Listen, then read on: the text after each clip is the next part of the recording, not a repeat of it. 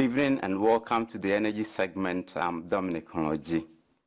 Access to energy is a key pillar for human well-being, economic development and poverty alleviation.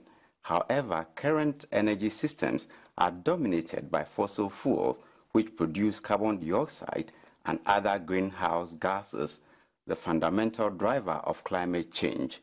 To resolve this, many economies are investing in renewable and sustainable energy. A report by Rebekah Awuah.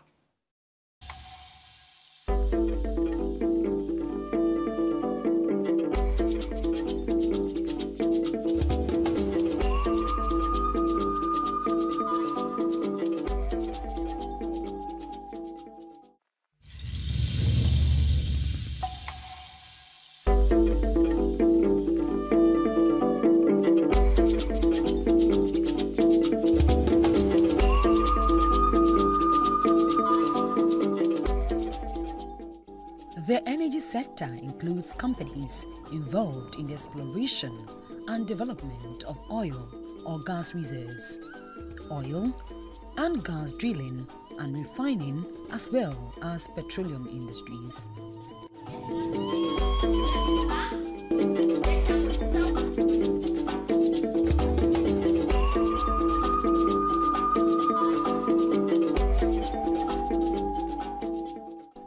The energy industry also includes integrated power utility companies such as nuclear power, renewable energy, coal, and traditional energy sources such as firewood.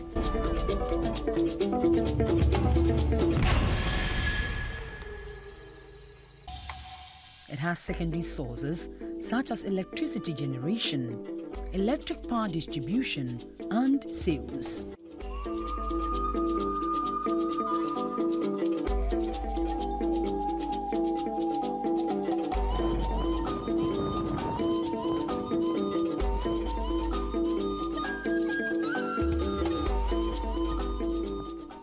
Sector has been an important driver of industrial growth over the past century, providing fuel to power the rest of the economy.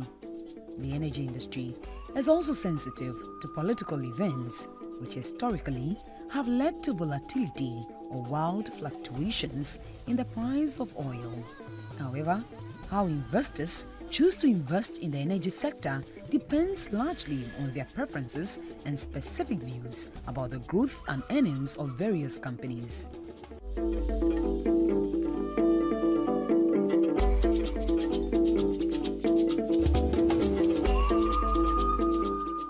Also, energy prices along the earnings performance of energy producers are largely driven by the supply and demand for worldwide energy.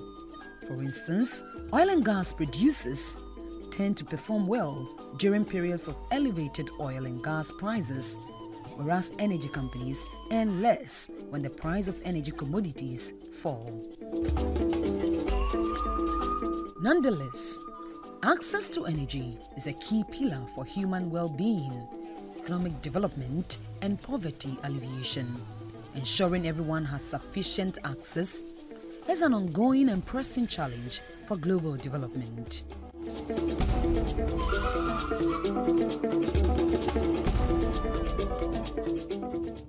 Have so that can have everything resources to carry out some gainful economic activity. We have to talk about energy and the environment. We know the development of energy, whether we are talking about electricity, gas, or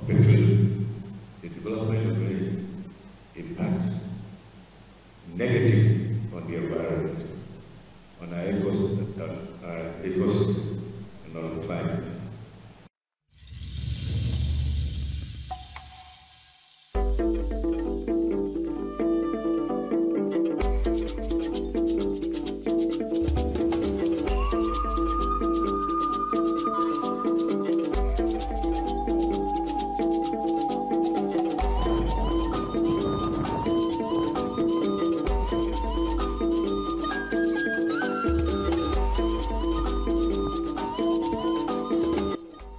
systems also have important environmental impacts. Historical and current energy systems are dominated by fossil fuels, which produce carbon dioxide and other greenhouse gases, the fundamental driver of global climate change. If you remember, the UN Secretary General instituted the Sustainable Energy for All program, of which Ghana was a signatory. The, office in Ghana is at the Energy Commission. And through the Sustainable Energy for All office and our development partners, we've been able to demonstrate the viability of using solar in particular to make commercial farming or large scale farming profitable. There are a number of organizations or businesses that have employed that. There's a vegetable farmer in Keta he uses wind energy and solar energy to produce his vegetables. As a result of the reduction in the cost of energy, he's able to produce enough and even export. Balancing the challenge between development and environment therefore provides an ultimate goal of ensuring everyone has access to enough sustainable energy to maintain a high standard of living. As part of human adaptation to global warming, many economies are investing in renewable and sustainable energy.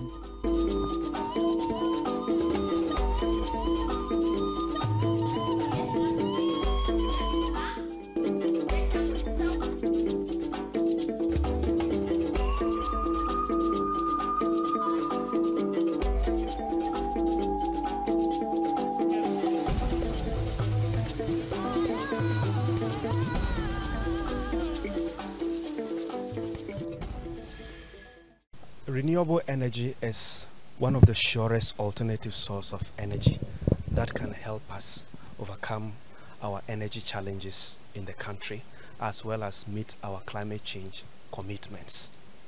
Now, as policy advisors to government, we have been working with government through the Ministry of Energy on a number of interventions to be able to promote renewable energy in Ghana. One of such interventions have been the Renewable Energy Fair where we bring policymakers, we bring people in academia, we also bring players within the industry, particularly financial institutions, for us to discuss some of the challenges and prospects and how to overcome the challenges within the renewable energy sector. And year in, year out, as we keep on having the fair, we keep having a number of people, in fact, the number of service providers in the sector keep increasing as a result of the increased awareness, through the fair. We also advise government in a number of ways. You know, reports on regulation and the complaints or the concerns that we get from the regulated entities. Concerns like there aren't enough incentives within the renewable energy industry. Some would want the tax waivers to go beyond just the solar panels. They would want tax waivers on every component in the renewable energy sector so that they will be able you know, to deploy more. And tax waivers will help reduce the cost of such systems in the country. And some individuals who have been able to justify or prove that they are indeed going to deploy every component for renewable energy purposes, some have been able to get some tax waivers, others have not yet been. But many of these business people are just calling for a flat waiver on these systems. And we support that because we believe that would actually help drive down the cost of solar systems or renewable energy systems and hence help more people to adapt to solar energy best practices. Many investors also believe renewable and alternative energy sources will play an important role in the future and are channeling resources there.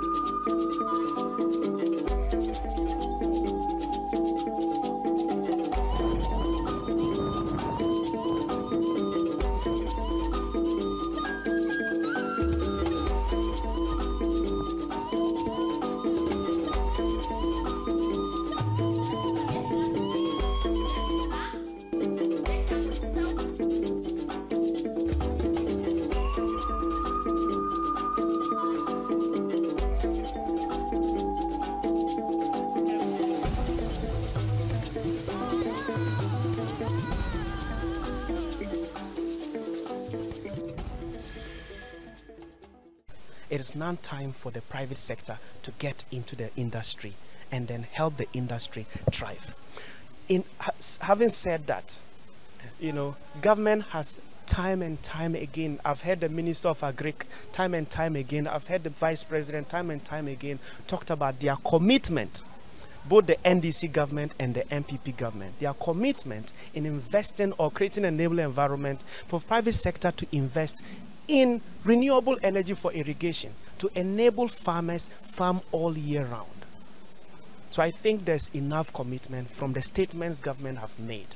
In the long term, the benefits of installing a, a, renewable energy system in your home, not just only solar, but also something like a biodigester, the benefits far outweighs the cost. As the years go by, the cost of components of renewable energy systems keep reducing. For such a homeowner, I will tell the person any investment into such a system is a worthwhile investment. And within five or even four years, you'll be able to reap your eh, returns on your investment. Indeed, if we are to meet the global climate targets and avoid dangerous climate change, the world needs a significant unconcerted transition into its energy sources. Rebekah Awuah reporting.